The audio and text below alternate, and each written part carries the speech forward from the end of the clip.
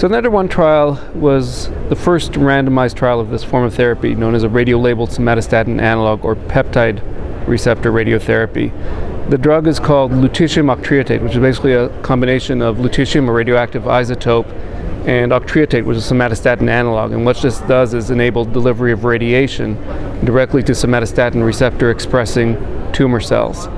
Uh, the control arm of the study was high dose octreotide. And the patient population was patients with neuroendocrine tumors of the midgut, the small intestine, progressing on standard dose somatostatin analog.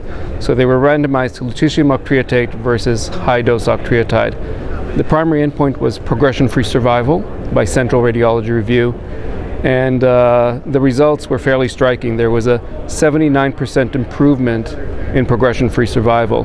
The median PFS on the control arm, octreotide, uh, was eight months versus not reached yet uh, with the lutetium arm after nearly a year and a half uh, median follow-up. In fact, it's anticipated that the median PFS based on the Kaplan-Meier curve is going to be in excess of three years with lutetium.